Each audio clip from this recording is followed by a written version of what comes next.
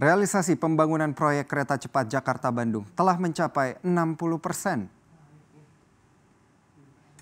Perkembangan pembangunan proyek infrastruktur konektivitas ini ditargetkan rampung pengerjaannya secara keseluruhan pada awal tahun 2022. Walau meleset jauh dari target yang rencananya proyek dapat selesai di tahun ini, namun KCIC optimis di tengah pandemi COVID-19 pengerjaan dapat dilakukan dengan masif dengan tetap menerapkan protokol kesehatan di area proyek. Chandra Dwi Putra, Direktur Utama KCIC mengaku bahwa permasalahan pembebasan lahan sudah hampir selesai. Padahal sebelumnya masalah pembebasan lahan adalah kendala utama KCIC dalam mencapai target estimasi waktu pengerjaan proyek.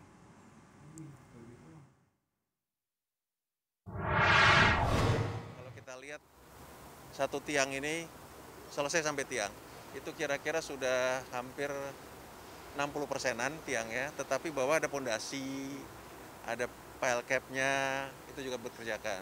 Kemudian kita punya terowongan, ada 13 terowongan. Anda yang sudah tahu, tahun lalu yang tembus di Walini, tahun ini ada dua lagi, tunnel 3 dengan tunnel 5. Dan Anda tahu juga satu tunnel yang pakai alat khusus TBM, tunnel boring mesin, yang itu di Halim, itu kira-kira sudah progres sudah 60 persen. Jadi progresnya dari jalan tol dari sebelah kiri ke kanan itu sudah tembus, sudah nyebrang. Kita tinggal nguruskan lagi, sebentar lagi keluar.